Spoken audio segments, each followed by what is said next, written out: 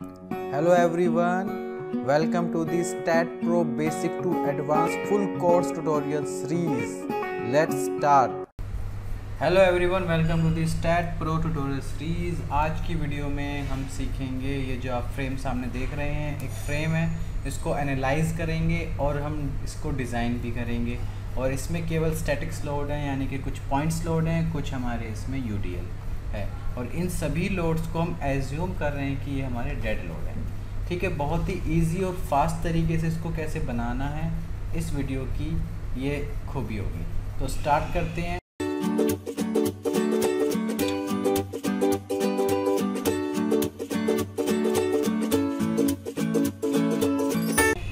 सबसे पहले मैं क्या करूँगा? सबसे पहले मेरा बनाने का तरीका क्या है? सबसे पहले मैं यहाँ पर एक जॉइंट बनाऊँगा, ठीक है? तो STAAD Pro new project meter kilo newton करने के बाद ऐड बीम पे रहने देना है आपको फिनिश और जो ग्रिड आई है उसके ज़ीरो पे क्लिक करके आपको ग्रिड को क्लोज कर देना है। ये हमारा एक जॉइंट आ चुका है, ये जॉइंट इस जॉइंट को नोट कर्सर से नोट कर्सर से आपको इसको सिलेक्ट करना है। जब ये रेड हो जाए तो आपको जाना है ट्रांसलेट रिपीट टूल के ऊपर। अब ट्रांसलेट रिपीट टूल के ऊपर चले गए। अब हम इसकी रेफरेंस को ओपन कर लेते हैं फ़ाइल को। और देखिए, ये जॉइंट मैं बना चुका हूँ। अब मेरे को बनाना है ये कॉलम जिसकी लेंथ है फाइव मीटर ठीक है? और वाई डायरेक्शन एक कॉलम बनाना। तो मैंने क्या किया जॉइंट को सिलेक्ट करने के बाद यहाँ पे वाई और फाइव मीटर वन यानी कि एक ही कॉलम बनाना है। और लिंक करेंगे तो हम बीम बन जाएगा। ओके ये बन चुका है। अब मैंने नॉर्मल कर्सर से इस बीम को सिलेक्ट किया। अब देखिए, ये बीम आपका सिलेक्ट है और अब हमें एक्स डायरेक्शन में एक कॉलम ये बनाना है, दूसरा कॉलम ये बनाना है। लिंक करने से ये बीम बन जाएगा और ओपन बेस ऑप्शन पे क्लिक करने से यहाँ पे हमारा बीम नहीं बनेगा। ठीक है? और ये स्पेसिंग कितनी है? छः मीटर। तो ट्रांसलेट रिपीट टूल में दोबारा गए। डायरेक्शन क्या होगी? X step two spacing six meter link open base okay तो फ्रेम बन चुका है। उसके बाद सारी फिक्स सपोर्ट है जनरल में जाएँगे और जनरल के बगल में है सपोर्ट सपोर्ट पे क्लिक करने के बाद दूसरी साइड जाएँगे, यहाँ पे देखो एक पहले से सपोर्ट है S one S one support का मतलब है कि किसी सपोर्ट को हटाना नो सपोर्ट तो यहाँ पे क्रेट पे क्लिक करके हम एक फिक्स सपोर्ट को हम ऐड करेंगे. फिक्स सपोर्ट को ऐड करने के बाद हम जैसे ही फिक्स सपोर्ट पे क्लिक करते हैं, हमारा माउस कन्वर्ट हो जाता है नोट कर्सर में, क्योंकि सपोर्ट लगती है हमारी नोट्स पे.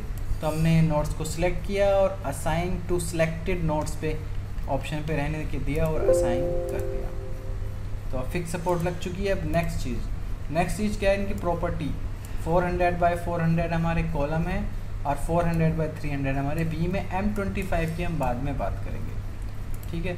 तो मैं यहाँ पे सपोर्ट के ऊपर जनरल के अंदर सपोर्ट के ऊपर है प्रॉपर्टी फिर दूसरी साइड जाना है हमें। हमेशा हमें यहाँ क्लिक करने के बाद यहाँ पर जाना होता है। अब यहाँ पर है डिफाइन का बटन इस डिफाइन बटन के ऊपर क्लिक करना है और यहाँ पे रेक्टेंगल सबसे पहले 0.4 यानी कि 400 hundred M M by four hundred M M concrete material add property कर लेंगे. वो यहाँ पे देखिए ऐड हो चुकी है.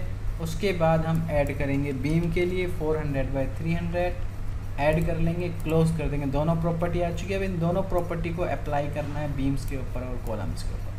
वो कैसे करेंगे? पहली प्रॉपर्टी पे मैंने क्लिक किया जो कॉलम के लिए, फिर ड्रैग करके सारे कॉलम सेलेक्ट किए और असाइन पर क्लिक किया और यस आर वन लिखा आ गया। इसका मतलब रेफरेंस प्रॉपर्टी वन प्रॉपर्टी मिल चुकी है। अब सेकंड प्रॉपर्टी पे क्लिक किया ड्रैग करके बीम को सिलेक्ट किया और असाइन कर दिया और आर टू इनके ऊपर आ चुका है। प्रॉपर्टी मिल चुकी है।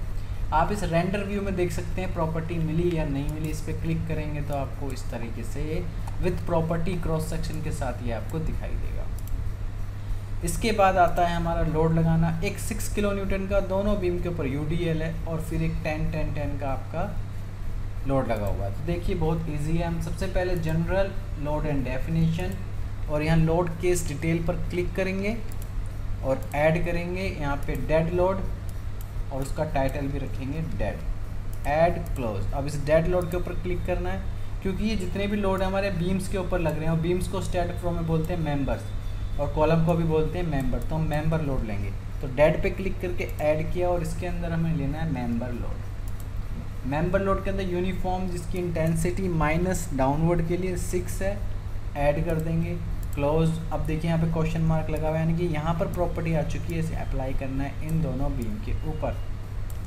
तो मैंने इसको पे क्लिक किया बीम सेलेक्ट किए और असाइन टू सिलेक्टेड बीम वाला ऑप्शन पे क्लिक होना चाहिए और असाइन लोड वैल्यू के लिए सिफ्ट प्लस वी लोड की वैल्यू आ जाएगी। इसके बाद हम लेते हैं जॉइंट लोड एक इस जॉइंट पे, एक इस जॉइंट पे और एक जॉइंट पे लग रहा है, जिनको हम बोल सकते हैं F Y force minus ten ठीक है जॉइंट लोड को।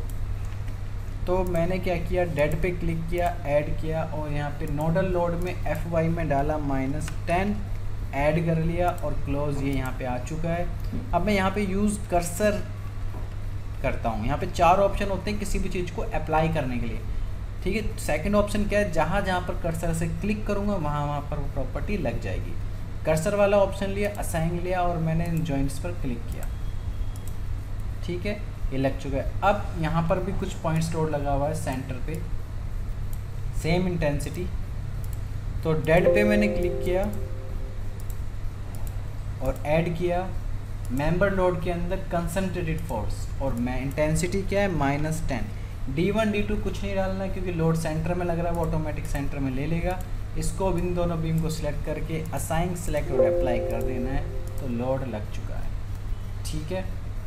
अब क्या करना है हमें यहाँ प्रिंट ऑल पे करना है। यहाँ print and analysis and print यहाँ पे ऑल पे क्लिक करना है जिससे सारा डाटा हमारा आउटपुट में आ सके। अगर ऑल पे नहीं करेंगे तो सारा डाटा नहीं आएगा। ऐड क्लोज अब इसको एनालाइज कर देते हैं। ज़ीरो एरर डबल क्लिक करके किसी भी बीम के ऊपर हम बेंडिंग मोमेंट चेक कर सकते हैं शेयर फोर्स चेक कर सकते हैं और इस टैब में जाके हम डिफ्लेक्शन चेक कर सकते हैं। ये रहा।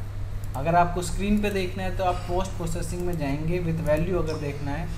ये जो आ रहा है आपका ग्रीन कलर का, ये है डिफ्लेक्शन और इसका जो मैंने डायग्राम को एनहेंस किया है तो मैंने कंट्रोल प्रेस करके स्कोरल को मूव किया है तो देखिए डिफ्लेक्शन आ अब डिफ्लेक्शन की वैल्यू आपको चेक करनी तो रिज़ल्ट में जाएँगे व्यू वैल्यू बीम रिज़ल्ट और यहाँ पे है आपका डिफ्लेक्शन डिस्प्लेसमेंट एनोटेट ये है आपका डिस्प्लेसमेंट अब डिस्प्लेसमेंट को यहाँ से हटा देते हैं, देखिए डिस्प्लेसमेंट का डिफ्लेक्शन का ये सिंबल है। आप bending moment in Z direction को एक्टिवेट करते हैं, इसके डायग्राम को भी थोड़ा बड़ा कर लेते हैं और वहाँ result view value beam result के अंदर डिस्प्लेसमेंट को हटा के बैंडिंग मोमेंट के तीनों वैल्यू को एनोटेट कर देते हैं। यह आ गया बैंडिंग मोमेंट की वैल्यूज़ अब बेंडिंग मोमेंट को भी हटा देते हैं और शेयर फोर्स पे क्लिक करते हैं। इसके डायग्राम को भी थोड़ा बड़ा करते हैं और व्यू वैल्यू बेंडिंग और बेंडिंग के ऑप्शंस को हटा के हम देखते हैं शेयर फोर्स एनोटेड ये है शेयर फोर्स अब क्या करते हैं हम? तीनों, चारों, पाँचों वैल्यू को, यानी कि बेंडिंग में शेयर फोर्स डिफ्लेक्शन सभी को एक्टिवेट करके व्यू वैल्यू बीम रिज़ल्ट और सभी पे क्लिक कर देते हैं। तो सारी वैल्यू हमारी इस तरह से आती है। अगर हम स्क्रीन पे राइट क्लिक करके यहाँ पे स्ट्रक्चर डायग्राम में यहाँ पे सेक्शन फुल सेक्शन कर देते हैं तो ये इस तरीके से दिखाई देगा। ठीक है? ओके अब हमें इसको डिज़ाइन करना है तो इसको हम नॉर्मल ले लेते हैं। ये रहा। डिज़ाइन करने के लिए आप जाएँगे पोस्ट और यहाँ पे है आपका डिज़ाइन का टैब, ये रहा। यहाँ पे कंक्रीट यहाँ पे I S four five six ठीक है? उसके बाद हमें यहाँ पे सिलेक्ट पैरामीटर करने कौन कौन से पैरामीटर हमें यूज़ करने हैं डिज़ाइन के लिए? इस पर क्लिक किया, इस विंडो को इधर ले आते हैं। सारे पैरामीटर को इधर ले आते हैं। हमें क्लियर कवर चाहिए, इधर साइड में ले गए। हमें चाहिए कॉम्प्रेसिव स्ट्रेंथ हमें चाहिए स्टील की स्ट्रेंथ और हमें चाहिए परसेंटेज ऑफ़ स्टील ओके चार पैरामीटर चाहिए। और हम यहाँ पे यूनिट चेंज कर लेते हैं। पैरामीटर्स के लिए हमें मिलीमीटर और न्यूटन चाहिए।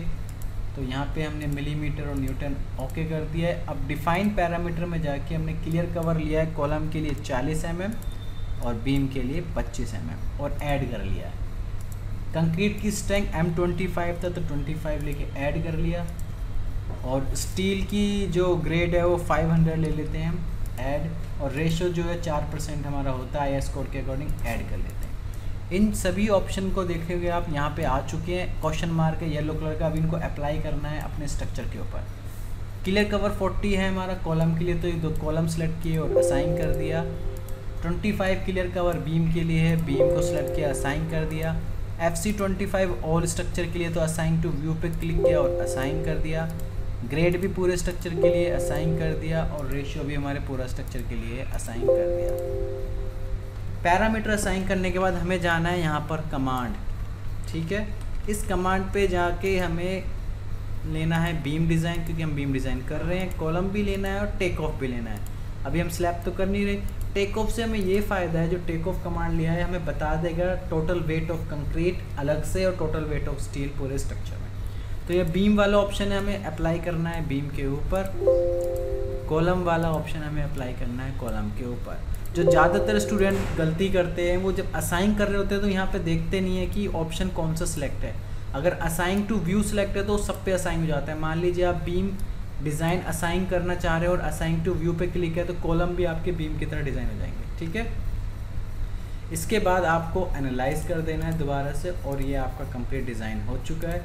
किसी भी बीम के ऊपर डबल क्लिक करेंगे तो यहाँ कंक्रीट डिज़ाइन का टैब आ जाएगा, और आप यहाँ से चेक कर सकते हैं। देखा मैंने बीम के ऊपर क्लिक किया कंक्रीट डिज़ाइन पे, लेकिन ये प्रॉपर्टी कॉलम की तरह दिखा रहा है। तो मुझसे भी कुछ गलती हुई है कि मैंने बीम के ऊपर कॉलम की प्रॉपर्टी ऐड कर दी है। तो मैं अब क्या करूँगा? ये बीम है और ये कॉलम है। तो मैं क्या करूँगा? बीम की प्रॉपर्टी बीम के ऊपर करूँगा दोबारा से असाइन और कॉलम को डिलीट करके दोबारा से ऐड करूँगा कॉलम डिज़ाइन और कॉलम को मैं काफ़ी बार ये हर किसी से गलती हो जाती है। कॉलम को कॉलम के लिए सिलेक्ट किया और असाइन अब दोबारा से एनालाइज करते हैं। डन अब बीम पे डबल क्लिक करके देखते हैं तो बीम की तरह डिज़ाइन हुआ है।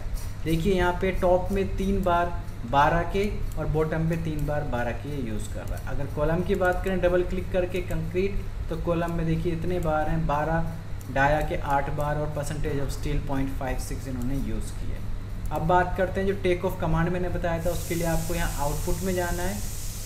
थोड़ा सा वेट करना है, क्योंकि लोडिंग होती है, इसमें कुछ पेचीज छोटा स्ट्रक्चर है तो बहुत जल्दी हो जाएगी। और लास्ट में आप देखेंगे यहाँ पे ये चीज़। ये टेक ऑफ़ कमांड लेने से आया है कि हमारा टोटल जो कंक्रीट का वॉल्यूम है, वो यूज़ हो रहा है 3.8 क्यूबिक मीटर और जो हमारे बार यूज़ हो रहे हैं, वो आठ एम mm का डाया और 12 एम mm का यूज़ हो रहा है, जिनका वेट है न्यूटन में इक्कीस सौ पैंसठ, जैसे आप के जी में कन्वर्ट कर सकते हैं। और कॉस्ट ऑफ़ स्टील आप किसी भी स्ट्रक्चर की निकाल सकते हैं, और cost of material of concrete तो ये आपका था एक फ्रेम एनालाइज और डिज़ाइन करना। अगर ये आपको वीडियो पसंद आई हो तो प्लीज़ सब्सक्राइब करना, लाइक करना, शेयर करना ना भूलें।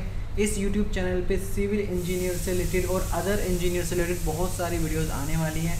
अगर आपको स्टैट नहीं सीखना तो ई टैप के लिए या रिविट के लिए आर्किटेक्चर के लिए इसको सब्सक्राइब करके बेल आइकन पर क्लिक ज़रूर करें। अगर आप मेरे वर्क को सपोर्ट करना चाहते हैं तो पैट्रॉन जो कि डिस्क्रिप्शन में लिंक दिया हुआ है, वहाँ पर जाके आप सपोर्ट कर सकते हैं। Thank you